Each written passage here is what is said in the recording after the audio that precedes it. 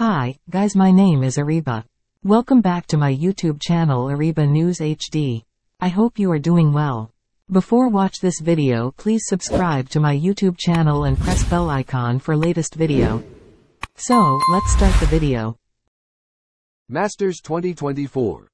Mark Allen makes 147 before fighting back to beat Mark Selby and reach semifinals. Mark Allen made a superb 147 maximum break, then came from 4 to 1 down to beat Mark Selby 6 to 5 in the quarterfinals of the Masters at Alexandra Palace. The Northern Irishman's effort follows Ding Junhui, who made his second maximum at the tournament on Tuesday. Kirk Stevens, 1984, and Marco Fu, 2015, are the only other players to have achieved a 147 at the Masters. Ali Carter had earlier beaten reigning champion Judd Trump 6-5 and will face Allen in Saturday evening's semifinal. To do it here, make a 147. At the Masters, one of the Triple Crown events, is very special, Allen, who won the Masters in 2018, told BBC Sport.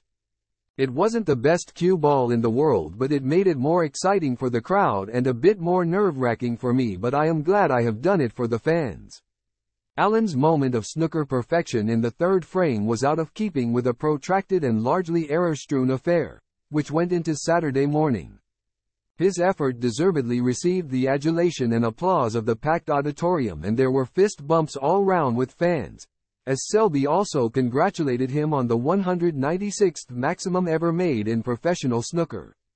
His 147 also means he is in line to share the £15,000 high break prize, and alongside Ding and Shu Si, he could yet claim a £147,000 bonus at the Crucible in April.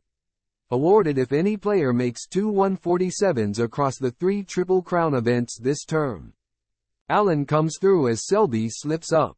Three-time champion Selby had looked in total command after five frames against Allen, who he defeated in the last four of the 2023 World Championship but a break of 56 and a 103 enabled world number 3 Allen to take the initiative as he won four consecutive frames. After appearing shorn of confidence, underlined by a miss on a straight red to the bottom left corner in the ninth frame, Selby produced a timely 55 to help take the match to a decider. And while both had opportunities in the balls, Allen superbly got position on the key green and was able to round off his win. I don't know where the maximum came from because it was a really poor performance, Allen added. Like Mark, Selby, said yesterday, we should have just started at midnight and played one frame because it was always going to go 5 all. I was applying myself really well but could not find any rhythm. Any win against Mark is a good win. Trump falls short as Carter battles through.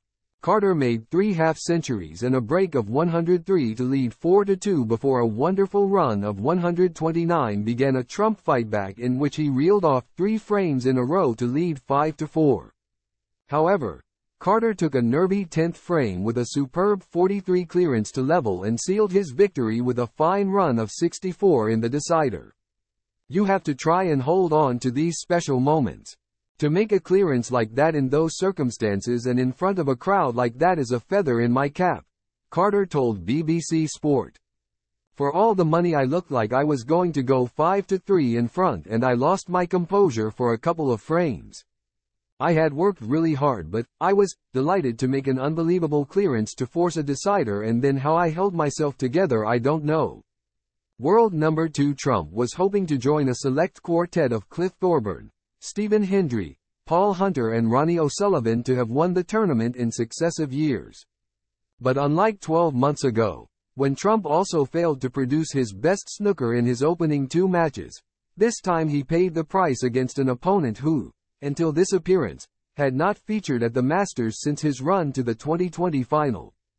There were signs Trump was not at his clinical best early on despite a break of 80 to take the second frame and while both players made uncharacteristic errors, Carter's scoring was slightly better throughout.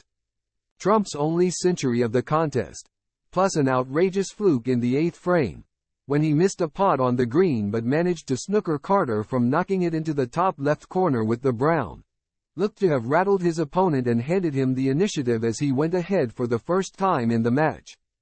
But Trump was left to reflect ruefully on two spurned opportunities in the 10th frame, when he ran out of position and then overcut a red to the left corner that would have left Carter requiring snookers to save the match. He should never have really had that chance, in the 10th frame, it was terrible from me, Trump said. I had two perfect chances to win the game and I'm obviously disappointed but he deserved to win.